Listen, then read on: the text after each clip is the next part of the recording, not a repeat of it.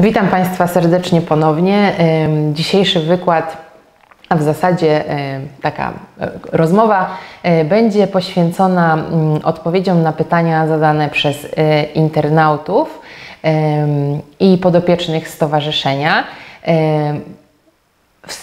W większości pytań, które mm, się pojawiały, e, to były pytania dotyczące obecnej sytuacji związanej z rozprzestrzenianiem się na terenie naszego kraju wirusa e, powodującego chorobę COVID-19, e, więc spróbuję się skupić na tych aspektach, jakie Państwo tutaj macie problemy w praktyce.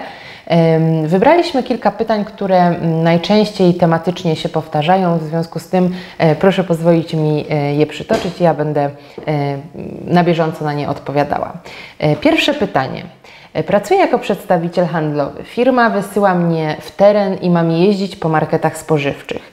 Jakie mam prawa jako pracownik?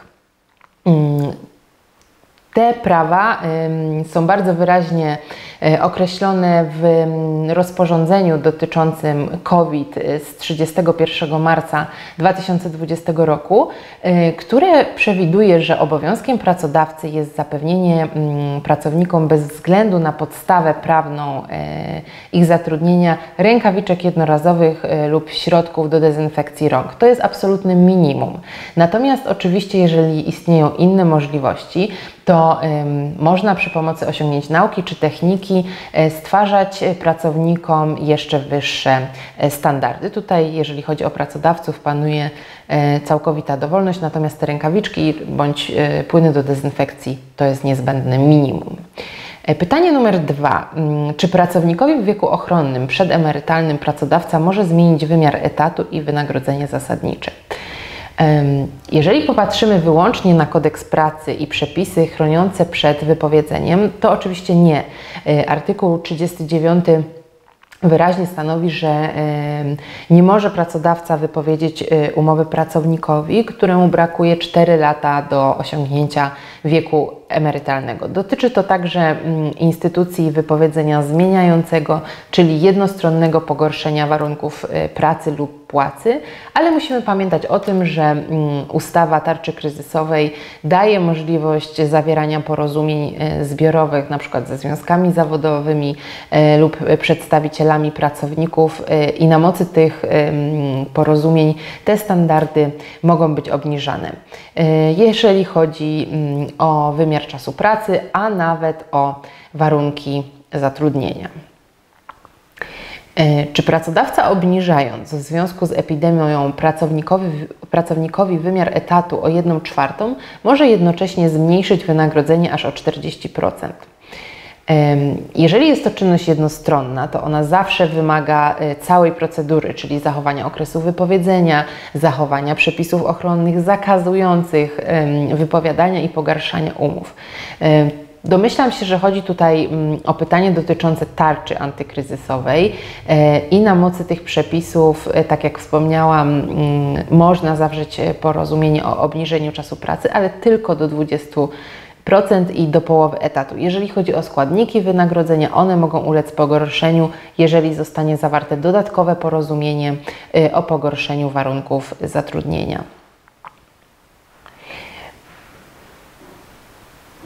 Wczoraj dowiedzieliśmy się, że pracodawca obniżył nam pensję o 20% przy, przez trzy kolejne miesiące. Czy jest to zgodne z prawem?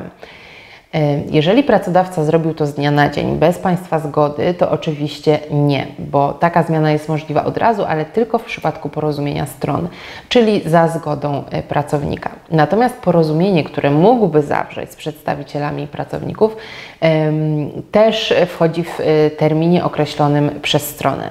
Jeżeli zrobił to bez porozumienia, to znaczy, że mm, naruszył prawo. Co za tym idzie, tutaj Państwo powinni wnosić o wyrównanie wynagrodzenia e, zgodnie z e, prawem i skierowanie sprawy do sądu pracy.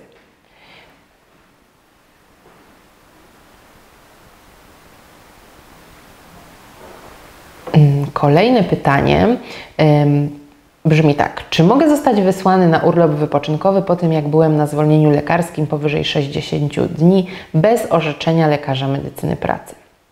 Niestety nie jest to możliwe, bo tarcza antykryzysowa co prawda zawiesiła tylko jeden obowiązek dotyczący badań okresowych, ale już niekontrolnych, co oznacza, że po 30 dniach zwolnienia tutaj Pan powinien się udać na badania kontrolne i ten przepis dotyczący tych badań nie został zawieszony. Dopóki takich badań kontrolnych nie wykonamy, e, nie można takiego pracownika wysłać na urlop, nawet na ten zaległy.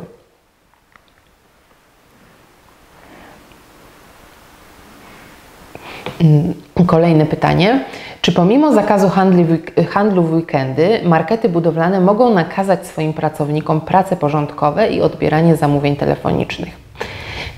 Jeżeli chodzi o mm, pracę w soboty, to tutaj sprawa jest e, w miarę prosta, ponieważ tutaj nie mamy do czynienia z ustawą e, z 2018 roku o zakazie mm, handlu w niedzielę.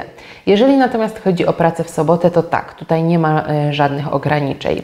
Gdyby się okazało, że komuś zmieniono warunki umowy o pracę, ta osoba jest sprzedawcą czy kasjerem, i w tym czasie wykonuje inne prace, to jest to możliwe na podstawie mm, oddelegowania mm, pracownika.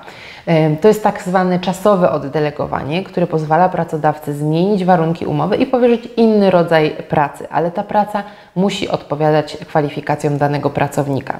Jeżeli chodzi tutaj o pracę w niedzielę, to jest to bardziej skomplikowane, ponieważ e, w grę wchodzą dwie podstawy prawne. Jedna to taka, która dotyczy mm, zakazu handlu w niedzielę, natomiast druga mm, z kodeksu pracy. Nie wolno prowadzić czynności związanych z handlem, wobec tego nie jest, jest to dopuszczalne tylko w sklepach e, internetowych i e, platformach internetowych, jeżeli chodzi o zamówienia oczywiście. Natomiast e, kodeks pracy zezwala na świadczenie pracy w niedzielę, na przykład przy pracy zmianowej tej grupy pytań dotyczących obecnej sytuacji epidemiologicznej i kwestii związanych z prawem e, pracy, to były wszystkie pytania, pytania, które najczęściej się e, powtarzały. Dziękuję bardzo za uwagę.